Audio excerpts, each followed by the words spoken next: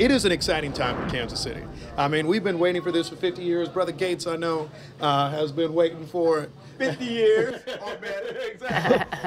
Mayor Quinton Lucas took some time out of his Thursday for some barbecue, announcing a little wager with San Francisco's mayor. The winner, of course, gets some dinner. Not a bad prize. That spread looks delicious. Yeah, it looks really good, even here at 6:40 in the morning. And right now, Mayor Lucas, he woke up early to join us in the studio before heading off to Miami. He's about to jump on a plane in a few Uh. hours. I got to ask you, you know, you've been involved with the city even before becoming mayor for quite some time. So how has this felt different? I mean, this has to be the most memorable time for us here in Kansas City. You know, it really is. I'm waking up and it feels like it's it's almost Christmas morning. Yeah. Right? Yeah. I mean, particularly with Red Friday, everybody's wearing red. Yep. Everybody's getting excited. The game is almost finally here. Mm-hmm. And uh, Kansas City, we've been waiting 50 years. So I'm just really pumped. long time. Of course, obviously, we all think the Chiefs are going to win. We're crossing our fingers. Yes. for that. If they do win, we've been talking about a parade. Any details that you can share with us? So many people are trying to plan for this. Well, you know, I think what I have said a few times, we're, we're not giving out full details yet because, frankly, there's still some things that are, are planning.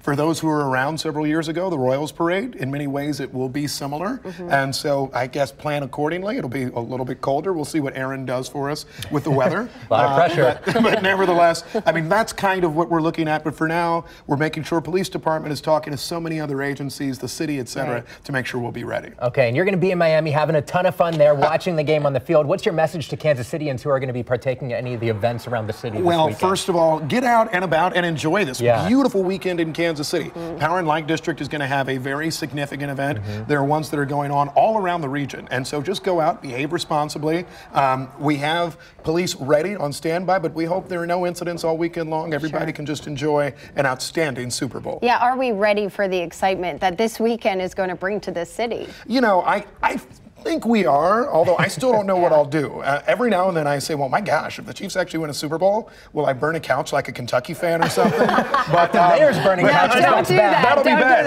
that. So I won't do that. You don't do that either. Okay, all right, But noted. we'll all be responsible. But nevertheless, uh, look, I'm pumped. This is the most exciting thing that really has happened in Kansas City sports. I almost want to say ever. I'm a big Chiefs guy. Yeah. And so looking forward to it. It is. I mean, it uh. could be huge this weekend. We, we saw a big victory dance and celebration from you at the NFC Championship. Are we going to see that even bigger come Sunday? I mean, you will see three-year-old, four-year-old me just like jumping up and down, it. Here we screaming, go. crying. There will be tears. There will be so much, Oh. and I think you will see that all throughout Missouri and Kansas, all throughout the country when Yeah. the Chiefs win. You really you better believe it. I- Anyone you're looking forward to seeing down in Miami? You know, actually, I've uh, built up a friendship with uh, Patrick Mahomes' mom, and Oh. so She's we great. saw some of the playoff games together. We'll catch up uh, down there, and his family. They have been great to get to meet and get to know, cheering for an outstanding player, an outstanding team. Yeah, you know, I don't want to take the attention away from the Yep. Chiefs, but I do want to ask you there's been a lot of talk this week about a downtown baseball Yes. stadium, and it goes hand in hand with the excitement that we've been feeling around the city.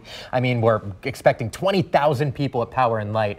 Do you foresee that happening, or do you think that could be something that would be just, you know, a great opportunity for the city to keep growing? So you you never say never. I Mm-hmm. think uh, what I've said a few times is while it is an intriguing idea, we have to figure out how to pay for it first. Yeah. And we have a lot of issues in Kansas City right now. People are calling me about potholes that we need to fix, Oh, yeah. roads Yeah. we need to repave, all types of things. So I think we need to spend at least a little bit of Mm-hmm. time working on those basics. That doesn't mean never for downtown baseball, but it means probably not the next one, two, three years that we're Yeah, thinking it is about. one of those things, though, with sports, is one thing that Kansas City will come out and spend their money on. So That's you right. could imagine what it would do for downtown. Let's So focus on that we'll Super see. Bowl win on Sunday. We got huge. this. All right. Mayor Right. Quinton Lucas, thanks Thank so you, much for stopping by. Thank you. Go Chiefs. to Miami. Do we, Go do we know what San Francisco is buying you if we win? Uh, just a bunch of random stuff that's not nearly as All good. right. Rum cake, all that. All right, well, we'll take whatever. Yeah. All right, thank you, Mayor. We appreciate We'll it. have a lot more